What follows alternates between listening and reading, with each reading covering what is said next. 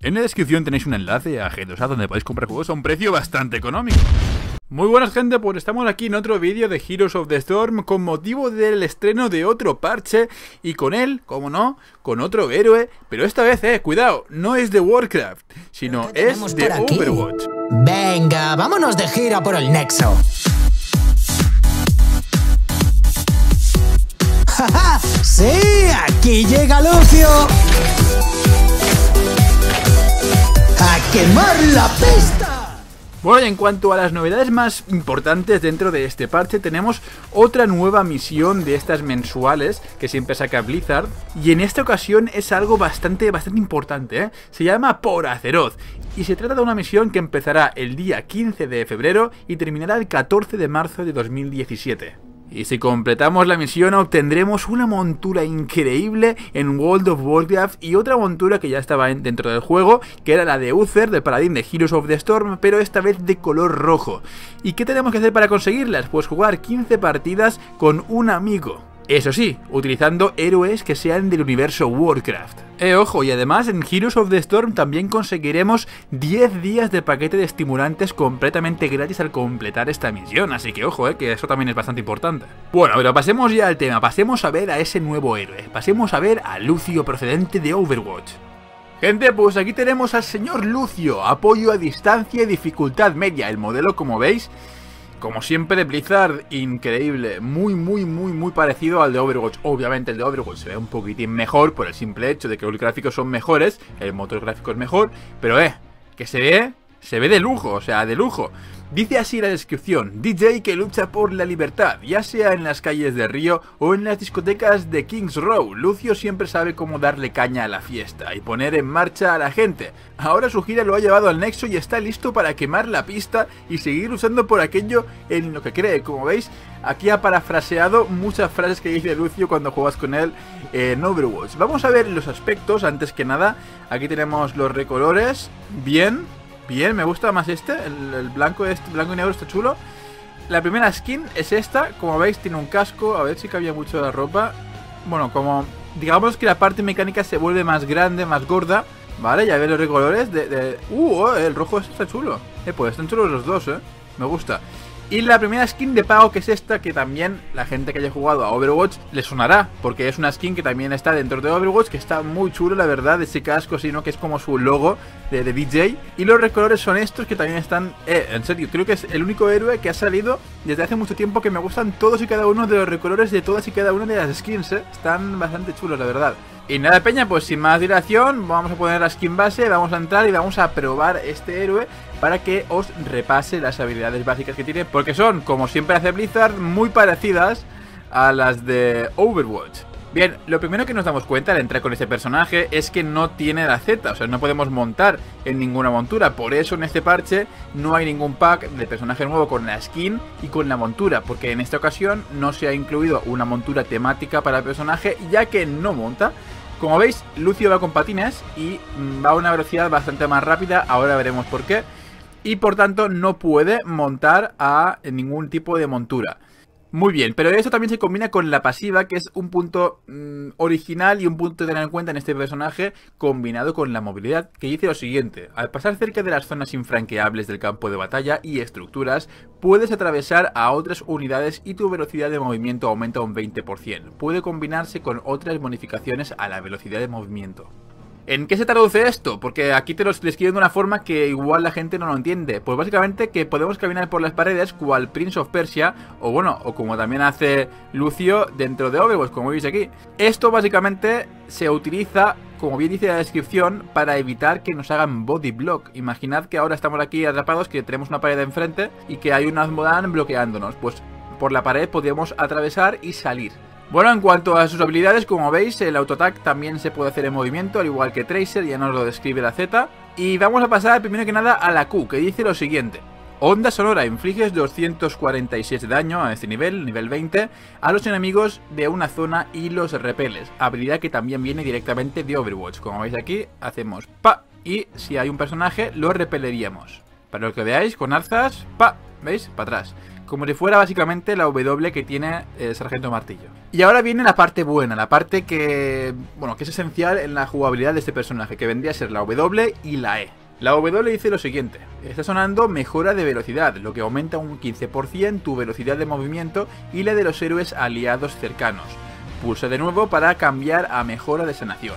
¿Qué quiere decir esto? Pues que al igual que en Overwatch, la W tiene como dos posiciones. Ninguna de las dos consume maná. Ojo con esto, ¿vale?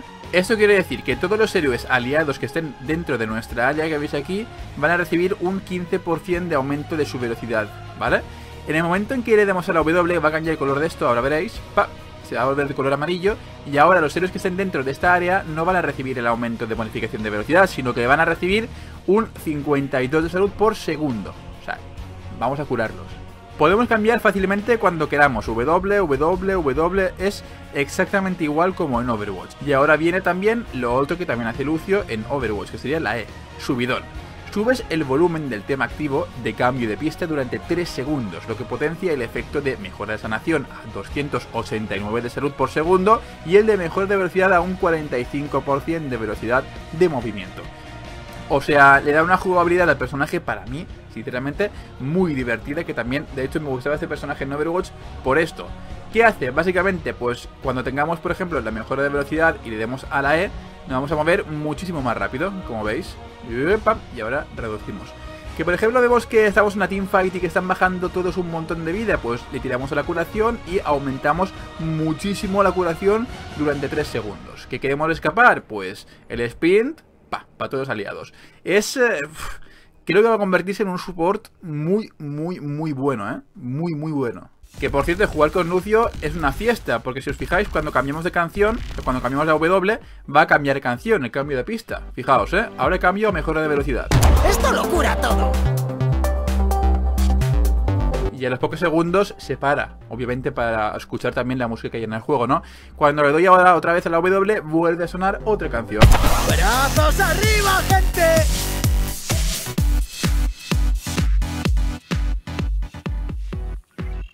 Bueno, como os decía, la habilidad heroica tenemos barrera de sonido, tiempo de reutilización 70 segundos. Tras un segundo, tú y los héroes aliados cercanos obtenéis 3052 de escudo que se va agotando a lo largo de 6 segundos. Exactamente igual como en Overwatch. Vamos a utilizarlo aquí para que lo veáis. Y le doy, ¿eh? ¡Pa! Y tenemos el efecto, mirad, cacho escudo el efecto aquí del escudo. Está, sinceramente, muy bien este Ultimate. O sea, esta habilidad heroica. El talento de nivel 20 que cheta esta habilidad heroica es esta, Bossa Nova. El tiempo de reutilización de barrera de sonido se reduce a 30 segundos, pero ahora el escudo se va agotando a lo largo de 4 segundos. O sea que tenemos una reutilización mucho menor, pero también vamos a perder 2 segundos de escudo. ¿Vale? Para que lo tengáis en cuenta. Y ahora vemos la otra habilidad heroica que sinceramente no se queda corta, ¿vale? O sea, y también me parece muy buena, o sea, que le otorga una jugabilidad eh, bastante divertida al personaje. Es este de aquí, subidón inverso, en reutilización 50 segundos. Y dice lo siguiente, el tema activo de cambio de pista perjudica durante 4 segundos a los héroes enemigos, lo que provoca que mejora de sanación se les inflija 457 de daño por segundo y mejora de velocidad los ralentice un 45%. Muy bien, ¿qué significa esto? ¿Cómo funciona entonces este Ultimate? Pues básicamente vamos a hacer lo mismo que hacemos con nuestros aliados, o sea, curar o acelerar, pero al contrario con nuestros enemigos, o sea, ralentizar o hacer daño. Esto no, se ha aumentado, por ejemplo, por el aumento este del subidón, ¿de acuerdo? Lo he probado y siempre mete lo mismo a los, por ejemplo, ¿vale? Mirad, ahora mismo tengo activa la sanación, por tanto, cuando active la R, voy a hacer daño al... Aquí al muñeco este, ¿no? Mirad, le doy, ¿veis? 29, 29, 29, 29 Eso imaginaos dentro de una teamfight Que le estás metiendo a todo el mundo Ahora le doy a subidón y luego la R Que en principio debería meter más, ¿no? Pero como que ya automáticamente ya está metido dentro de Ultimate. Porque fijaos que también va a quitar exactamente lo mismo, 29, 29, 29, 29. ¿De acuerdo? Lo digo porque no es necesario utilizar la E y la R al mismo tiempo. Solamente para que lo tengáis en cuenta. Como os digo, también tiene muchísima, pero que muchísima utilidad. Bien para ralentizar a los enemigos, bien para infligir daño dentro de una teamfight de forma masiva, en área y un área bastante grande. Además de que al mismo tiempo curas o aceleras tu velocidad. Así que mirad, eh. Mirad. Pa, pa, pa, pa, pa, Daos cuenta que yo al mismo tiempo me estoy curando. Pues el talento de nivel 20 que aumenta, que cheta esta habilidad heroica, dice lo siguiente. Mientras su bidón inverso afecte a un mínimo de dos héroes enemigos, su efecto se prolongará de forma indefinida. O sea que es una habilidad, es un talento muy de tener en cuenta, ya que daos cuenta que con ese talento activo podemos estar dentro de la teamfight utilizando esa habilidad heroica indefinidamente. Hasta que nos maten o hasta que dentro del área se quede mínimo un, un héroe solo. Así que sinceramente es, es muy buena. ¿Qué otros talentos de nivel 20 tenemos que son bastante importantes, como siempre? Tenemos en primer lugar otra, otra, que lo que hace lo siguiente. Al usar cambio de pista mientras su bidón está activo, se reinicia la cuenta atrás de su bidón. Solo puede producirse una vez por lanzamiento. ¿Qué quiere decir esto? Pues que imaginad que yo ahora tiro subidón y, y cambio ahora mismo, al final de subidón, ¡pam! ¿Veis? Cambio de pista y vuelvo a tener el subidón en la otra parte, o sea, en la otra pista.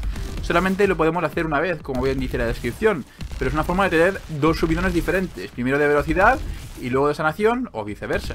Y el último talento de nivel 20, que es también bastante importante, dice lo siguiente. Lanzar subidón elimina todo aturdimiento, ralentización e inmovilización que sufran los aliados y toda ralentización e inmovilización que sufras tú.